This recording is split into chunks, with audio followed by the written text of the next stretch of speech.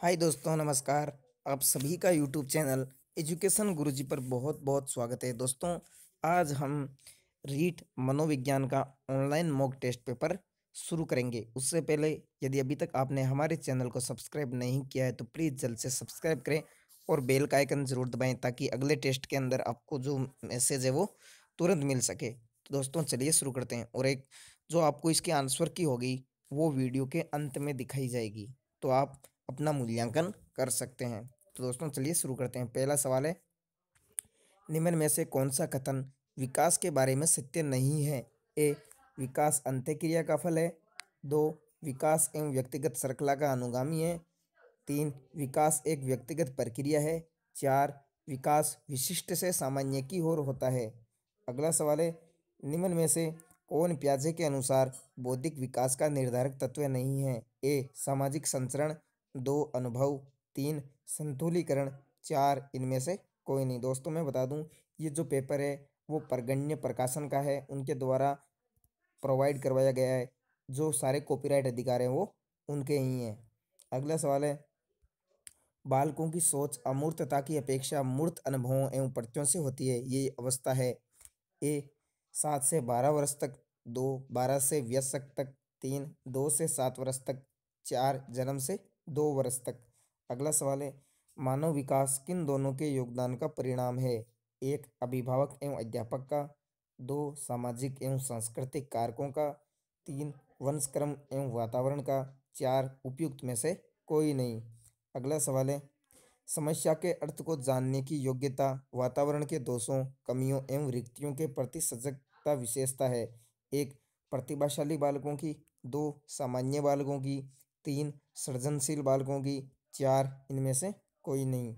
अगला सवाल है दोस्तों, विशेष आवश्यकता वाले बच्चों को पढ़ने के लिए निम्नलिखित में से कौन सी व्यू रचना अधिक उपयुक्त है? एक, अधिकतम बच्चों को सम्मिलित करते हुए कक्षा में चर्चा निर्देशन। दो, विद्यार्थियों को सम्मिलित करते हुए अध्यापक द्वारा निर्देशन। तीन, सहकारी अधिगम तथा पीयर ट्यूरिंग। चार, अध्यापन के लिए योग्यता आधारित समूहीकरण। अगला सवाल है दोस्तों एक कॉलेज जाने वाली लड़की ने फर्श पर कोट फेंकने की आदत डाल ली है। लड़की की माँ ने उससे कहा कि कमरे से बाहर जाओ और कोट को खूंटी पर टांगो। लड़की अगली बार घर में प्रवेश करती है। कोट को हाथ पर रखकर अलमारी की तरफ़ जाकर कोट को खूंटी पर टांग देती है। ये उदाहरण है, श्रृंखलागत अधिगम का, उद्दीपन अनुक्रिया अधिगम का, तीन प्रत्यय अधिगम का, चार, उपयुक्त सभी। अगला सवाल है बाह्य अभिप्रेरणा से समावेशित किया गया। जाएगा। एक प्रशंसा एवं दोषारोपण। दो, प्रतिद्वंदिता। तीन, पुरस्कार एवं दंड। चार, परिणाम का ज्ञान। इसके कूट हैं। एक एक और दो। दो, एक दो और तीन। तीन, केवल दो, चार, ये सभी। अगला सवाल है दोस्तों, जिस प्रक्रिया में व्यक्ति दूसरों के व्यवहार को देखकर सीखता है, न कि प्रत्यक्ष अनुभव के, इसको कहा जाता है, एक सामाजिक अधिगम। दो, अनुबंधन। तीन प्रायोगिक अधिगम, चार आकस्मिक अधिगम।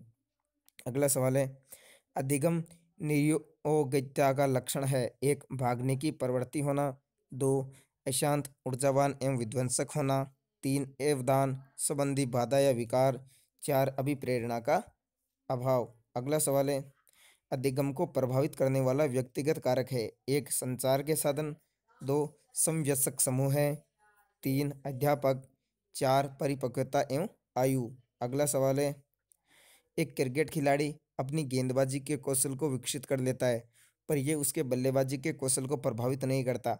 इसे कहते हैं, एक, विधेयात्मक प्रशिक्षण अंतरण, दो, निषेधात्मक प्रशिक्षण अंतरण, तीन, शून्य प्रशिक्षण अंतरण, चार, उपयुक्त में से कोई नहीं। अगला सवाल है दोस्तों, निम्न में से कौन सा कथन किसी व्यक्ति के मानसिक स्वास्थ्य को उत्तम रूप से प्रदर्शित करता है? एक पूर्ण अभिव्यक्ति, संगतिकरण और सामान्य लक्षण की ओर निर्देशन। दो, मानसिक विकारों का न होना। तीन, व्यक्तित्व के विकारों से मुक्ति। चार, उपयुक्त सभी।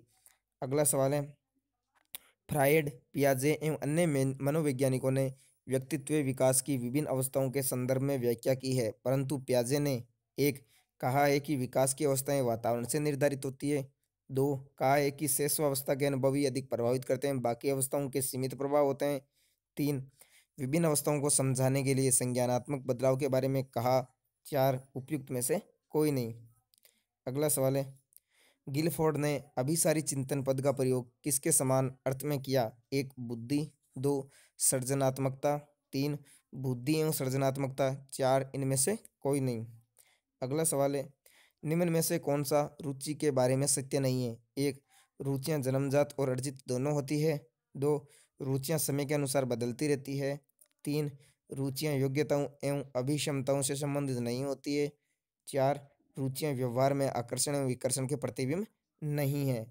अगला सवाल है दोस्तों, अभिवर्ती है एक भावात्मक प्रवृत्ति जो अनुभव के द्वारा संगठित होकर किसी मनोवैज्ञानिक वस्तु के प्रति पसंदगी या नापसंदगी के रूप में प्रतिक्रिया करती है।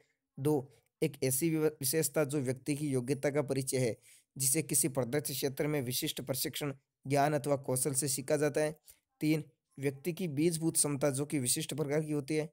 चार, उपयुक्त में से कोई नहीं। अगला सवाल है, व्यक्तिगत एवं बुद्धि में वंशानुक्रम की एक नाममात्र की भूमिका है, दो महत्वपूर्ण भूमिका है, तीन, अपूर्वानुमेय भूमिका है, चार, आकर्षक भूमिका है। अगला सवाल, जिन इच्छाओं की पूर्ति नहीं होती, उनका भंडार गृह निम्न में से कौन सा है?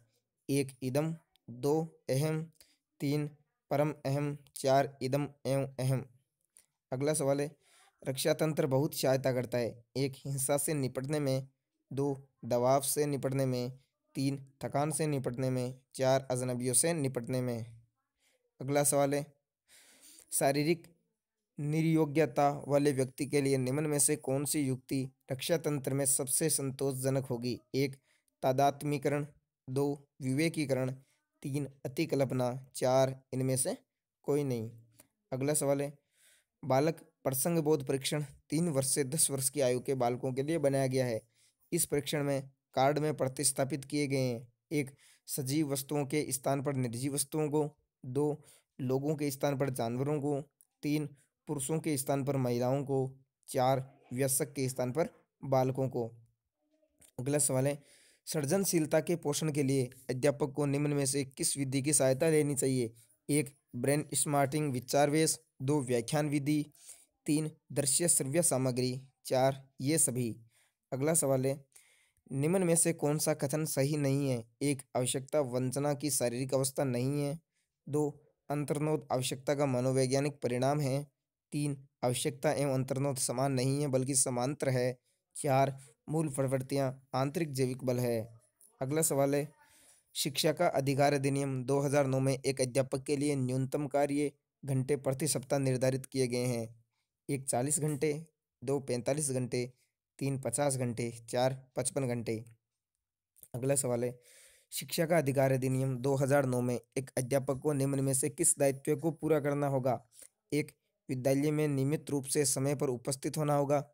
दो, पाठ्यक्रम का संचालन कर, पूरा करना होगा। तीन, संपूर्ण पाठ्यक्रम को निर्धारित समय पर पूरा करना होगा। चार, उपयुक्त सभी। अगला सवाल है, राष्ट्रीय पाठ्यक्रम रूपरेखा 2005 में शांति शिक्षा को बढ़ावा देने के लिए कुछ क्रियाओं की अनुशंसा की गई। पाठ्यक्रम रूपरेखा में निम्न में से किसे सूचीबद्ध किया गया है? एक, महिलाओं के प्रति आदर एवं ज़िम्मेदारी का दृष्टिकोण विकसित करने के लिए कार्यक्रम आयोजित किया जाए। दो, नैतिक शिक्षा को बढ़ावा दिया जाए। तीन शांति शिक्षा को एक अलग विषय के रूप में बढ़ाया जाए। चार, शांति शिक्षा को पाठ्यक्रम में सम्मिलित किया जाए। अगला सवाल है, राष्ट्रीय पाठ्यचर्या की रूपरेखा 2005 में बातचीत की गई है। एक, ज्ञान स्थायी वे दिया जाता है, से ज्ञान का विकास होता हो और इसकी संरचना की जाती है। दो, शैक्षिक केंद्र से विषय केंद्र होने पर। तीन, विद्यार्थी केंद्रित से अध्यापक केंद्रित की ओर। चार, उपयुक्त में से कोई नहीं अगला सवाल है क्रियात्मक अनुसंधान का उद्देश्य है। एक, नवीन ज्ञान की खोज। दो, शैक्षिक परिस्थितियों में व्यवहार विज्ञान का विकास।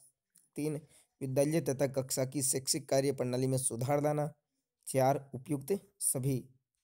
अगला सवाल है, राष्ट्रीय पाठ्यचर्या रूपरेखा 2005 में अंतर्गत परीक्षा सुधारों में निम्न में से किस सुधार को सुझाया गया है? एक, खुली पुस्तक परीक्षा। दो, सतत निरंतर एवं व्यापक मूल्यांकन। तीन, सामूहिक कार्य मूल्यांकन। चार उपयुक्त सभी। तो दोस्तों, इसकी आंसर की है वो मैं आपको बता देता हूँ। एक में चार है, दूसरे में एक, तीन में भी एक है। चार में तीन है और पाँच में तीन है। छः में तीन है, सात में एक है, आठ में चार है, नौ में एक है, दस में तीन है, ग्यारह में चार है, बारह में तीन है, तेरह में एक है चौदह में तीन है, पंद्रह में दो है, सोलह में चार है, सत्रह में एक है, अठारह में एक है, उन्नीस में एक है, बीस में दो है, इक्कीस में तीन है, बाईस में दो है, तेईस में एक है, चौबीस में एक है, पच्चीस में दो है, छब्बीस में चार है पच्चीस, सत्ताईस में एक है, अट्ठाईस में एक है, उनतीस में तीन है, तीस में चार है। तो दोस्तों, ये आंसर की थी। आपको और किस का मॉडल पेपर चाहिए, वो आप मुझे कमेंट बॉक्स में बता देना। जय हिंद, जय भारत।